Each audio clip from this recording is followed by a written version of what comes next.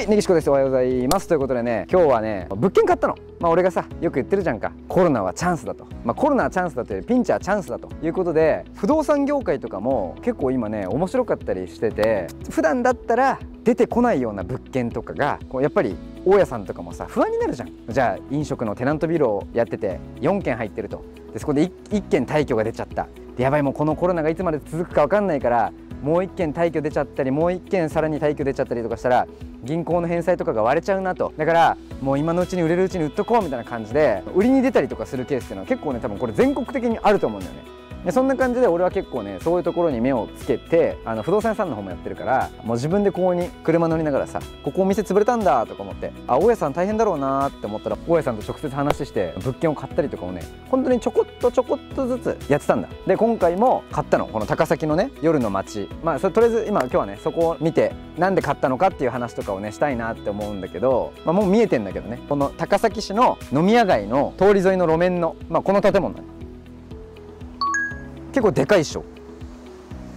俺がねこの、まあ、物件買う時に意識してることって言ったら、まあ、やっぱり金額よね。金額を交渉する、まあ、これ利回りとかをさいろいろここに計算するんだけどもその時はここ買った時っていうのはテナントがもうずっと空いてたんよ。もうコロナで閉店したお店があってそこからもうしばらく半年以上借り手が誰もいない状態で交渉に入ったよね。俺が買ってから借り主の人を知り合いの社長に頼んで探してもらってすぐ借り手が決まっただから買いました。借り手が決まりましただからまあ買った金額から家賃とかは入ってくるから。っていうまあそんな感じでね買ったんだけど俺がこの不動産とかを買ったりする時に意識してることは自分のテリトリー内のものにしか手は出さないようにはしてんだよね。いやちゃんと逃げ道まで考える。じゃあこのままこの物件を買いましたと。誰も借り手がいませんでした。1年借り手がいなかった時に自分でどうにするのかって考えた時にうちはここのエリアがさ飲み屋街って言ったじゃん。うちはの水商売いっぱいやってるから強いんだ。だ店舗が開けばそこに自分家で入れるから最悪ここ決まんなかったらうちでお店開けちゃおうみたいな。そしたらまあ家賃が浮くみたいな感じでそういう結構逃げ道なんかを考えながら買ったりとかするんだよね。でまあ買ってみたんだよ。まあ金額とかはさ言わないけどね。買った金額とかは。であとはねあれだね。例えば本当に言ったじゃんかさっき。コロナは結構チャンスで空きテナントだったりとかもやっぱ出やすいし大家さんとかも、まあ、持ってるんだったら売っちゃいたいなみたいな心理的にはなるじゃんか、まあ、株とかと全部一緒でさ株も暴落するかもしれないから今のうちに売っちゃおうみたいな。あとはもう暴落仕掛けてきてるから少しでも傷が浅いように売り抜いちゃおうみたいなのと一緒でやっぱ不動産とかも多分所有してる人って同じ気持ちなんよね。だからそういう時に、まあ、いかに安いところで買えるかっていうのが結構まあ重要だろうなって思うんだけど、まあ、ここで一個気をつけといた方がいいのは買おうと思うじゃん。そしたらみんなさ銀行とかに話をして銀行から融資借り入れとかをして物件を買おうと思うんだけどやっぱりもうこうなってくると銀行もかなり消極的にはなってくるんだよね。で今銀行って結構この収益系の物件にはかなり消極的。だから借りづらい。コロナとかの前だったらじゃあ1億円で買いますこれ。でちゃんと業績が良くて決算書とかも良ければじゃあ信用があればじゃあ1億円じゃあ銀行が貸しますよってなってたところ今は結構通らないってケースがねかなり多いらしいんだよね。でこれはやっぱり飲食とか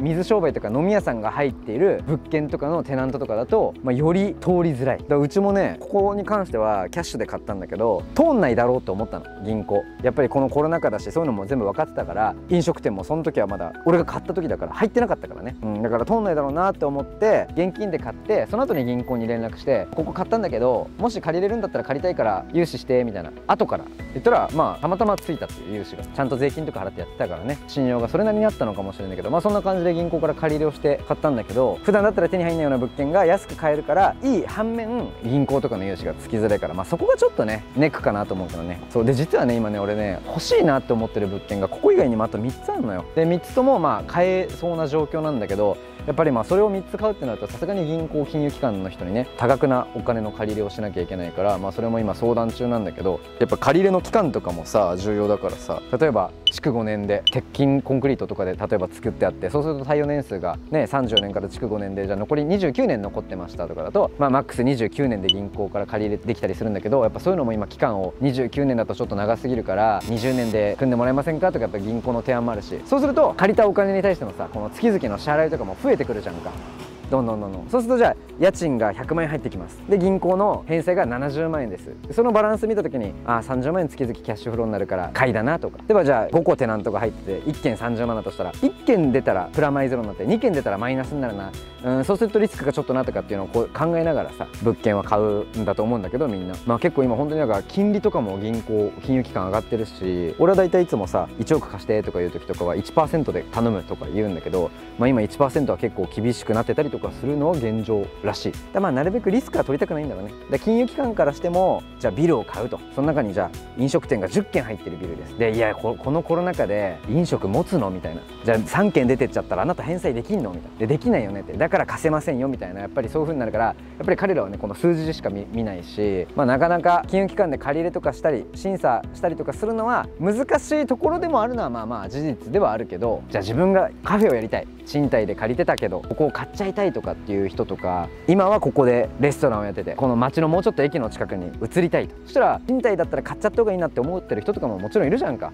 そういう人たちなんかはそういうのも考えてみたらいいんじゃないの？3年前だったら売ってくださいって言ってもいや売んないよって言われてたところ今は結構買いやすかったりとかもあると思うよ。あこんなとこ出てこないよなって物件本当に結構あるからね。またねいろいろこの物件をさこうに買う時にこういう資料を集めて銀行にこういう言い方をしたら融資つきやすくなるよとかっていうのはもちろんあるんだけどまあこれはまた後でいっか。ここだと長くなりすぎちゃうからね。まあそんな感じで今日は私が物件買ってみたっていうことでね。今ね他にも買おうかなって思ってるとこあるからまあそっちも買ったらね YouTube の方でまた撮っていきたいなと思います。皆さんこのコロナ禍ねもう少し頑張って乗り越えましょう。SNS のフォローとチャンネル登録高評価よろしくお願いします。ということで終わりにしますバイバイ。